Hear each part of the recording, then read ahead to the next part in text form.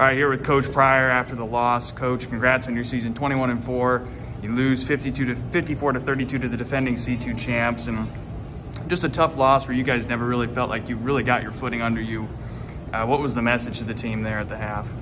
Um, you know, they did a lot of credit to St. Cecilia. They came in, experienced, executed their game plan really well. And so coming into the game, it was just really important for us to try to get, as you said, get our feet underneath us. And we just had a tough time doing that. So uh, we got here doing things together.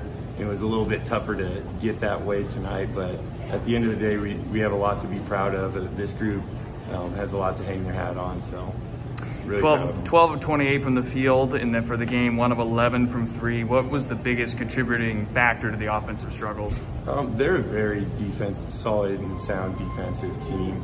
We let a little bit of their pressure get to us, and it knocked them off, knocked us off rhythm a little bit. So we, they had a game plan for everything we did, and it's it's been the first time in a while that somebody just had an answer for everything that we threw at them. Threw at them. So a lot of credit to them for playing us really tough on defense. One of the things that was really working well for you guys offensively was Lily Vollertson finishes unofficially with a double-double, 17 points, 10 rebounds.